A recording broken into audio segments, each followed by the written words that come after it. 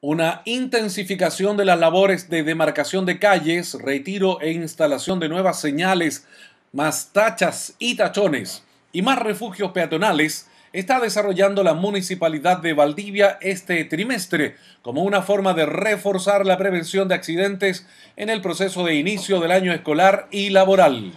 El Departamento de Ingeniería y de Señalización de Tránsito eh, ha considerado que especialmente eh, durante el comienzo del año escolar tenemos que tener en funcionamiento estos sistemas que ya han estado trabajando desde, eh, desde el año pasado hasta la fecha, aprovechando un buen tiempo, especialmente las demarcaciones y la instalación de, de las señaléticas ya mencionadas. Así que hemos avanzado considerablemente, hay un total de 7.629 metros lineales de calles con pintura entre el pintado de baranda y el pintado de, de los sedas del paso